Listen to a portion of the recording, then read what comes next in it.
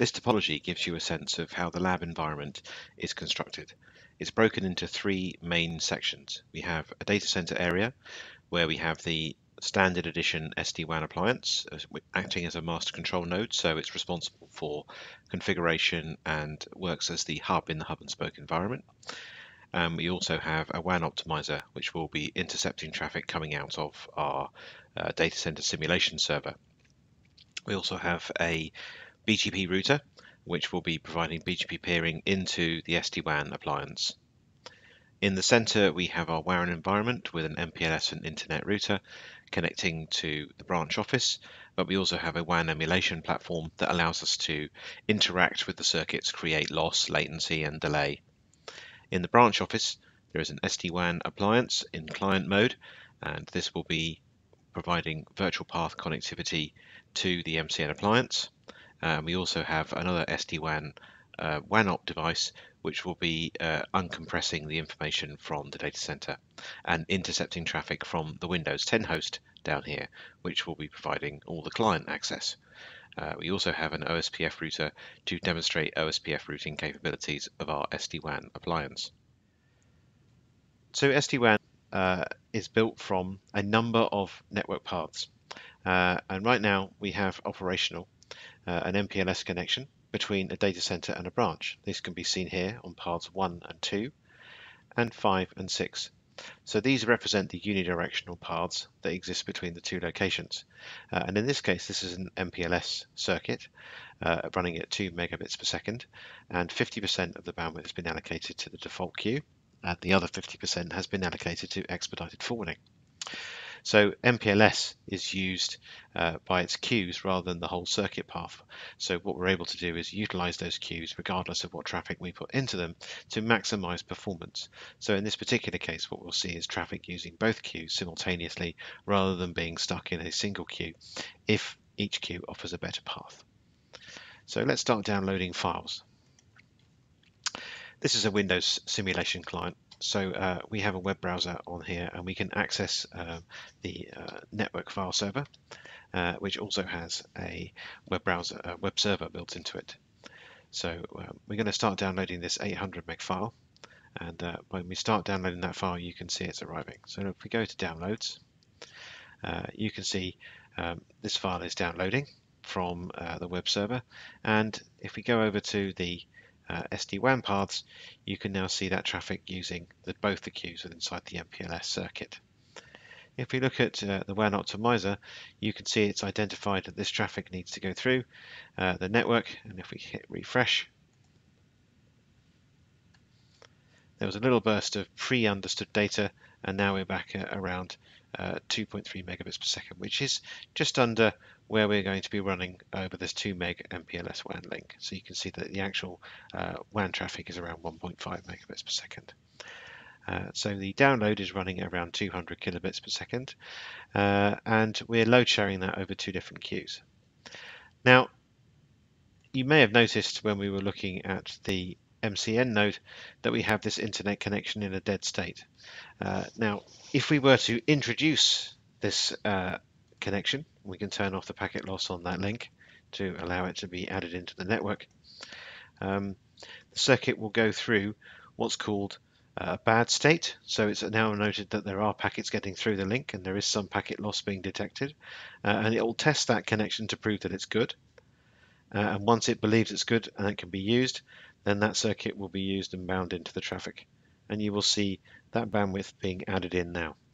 So what's happened for the user's perspective is the service is still the same, uh, but actually we've now managed to increase the bandwidth for the user and this is purely by adding new circuits. The, the user is unaware of that. So uh, if you imagine you had your flow being pinned to a specific link and other flows being moved on to other links, um, you wouldn't have seen an improvement in this particular user's service. However, we are load sharing packets, uh, which is a really particular feature of the Citrix SD-WAN, uh, which allows us to use all of the available bandwidth to the best possibility. Uh, by changing rules within our configuration, you can either persist connections against links if that's what you require, or you can load balance our traffic across the multiple connections. And in some instances, if you've got things like voice over IP or HDX, you may want to send it down two paths at the same time to ensure 100% reliability. That can also be configured too. Uh, so that's adding a new circuit into the network. So what happens if we want to uh, simulate a failure? So we'll fail the MPLS connection uh, to see what happens there by going into the MPLS connection, which is interfaces 1 and 2. We are then able to increase the packet loss to full loss. And you will see here that that service is now going down. So we've got 100% packet loss in one direction uh, which means it's going to bring down that connection. And we're still sending data on this here. So the flow hasn't had to redirect from to a different link or cause any problems. It has continued and just adjusted to the new available bandwidth. Now this means that uh, a flow that originally started on the MPLS connection um, has now been merged into the internet connection as well. So we saw that massive bandwidth improvement and its original circuit has now gone into failure. So in a, in a situation where you have catastrophic network events, uh, you will then able to ensure network traffic works fine, um, and also that if you need to take a particular circuit out for maintenance, uh, you can do so without impacting your users, uh, and they may be able to take over and use backup circuits if they are present at that location.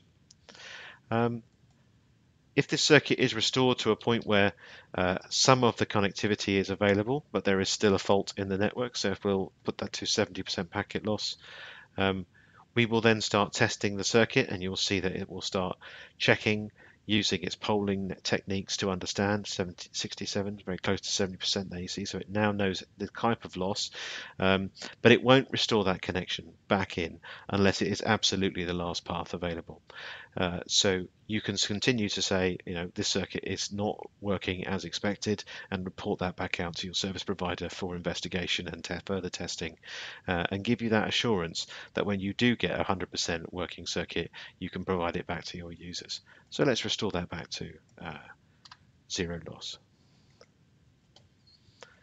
And as that circuit comes back into service, I'll just put the uh, web browser up there you are now able to see that that bandwidth is going to increase as we start loading traffic back into that connection.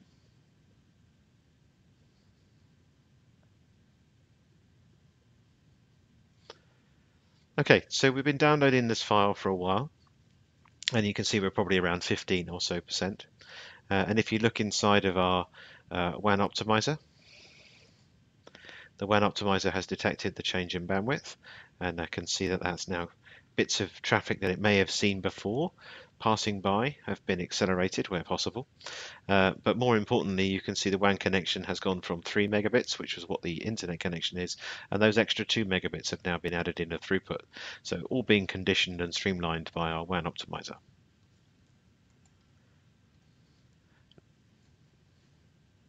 So let's cancel this download. So clean that up. Um, the same file is also available via a network share, so we want to do a CIFS download. So we can go into our uh, network server and we can download the same 800 megabit file.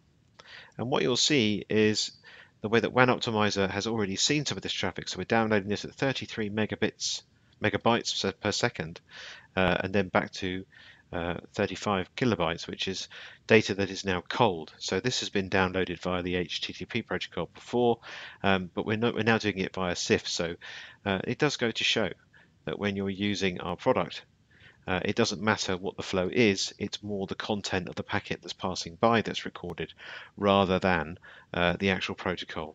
So the WAN optimizer intercepted the CIFS connection, uh, then started talking to the um, network file share, and we were able to download this connection at 237.5 megabits per second. Uh, but when you actually look at the WAN bandwidth that was being used, it was next to nominal because we're sending signatures for this repeatable traffic. Um, And when we run out of data that we have seen, uh, we return to 4.3 megabits per second out of the server, uh, and you can see that the actual throughput has now been uh, restored across the WAN. So we got a huge benefit there by WAN optimization over SD-WAN. So remember, you can use the two together, uh, WAN optimizer, uh, deduplicating and compressing traffic across the network, and then SD-WAN standard edition, uh, aggregating multiple circuits for resilience and maximum throughput. Uh, if you look inside of um, the connections, we can see that CIFS connection reporting uh, and the percentage of bandwidth savings we received while transferring it through that warm data uh, and as it moved into cold. And what's important is that you can also see here the partner unit that it was sending to. So uh, 242 is uh, this device, which is also seeing the other side of the connection. So this is where the cold data would have then been, sorry, the um, warm data would have then been uh, exploded into real data and sent onto the uh, Windows host.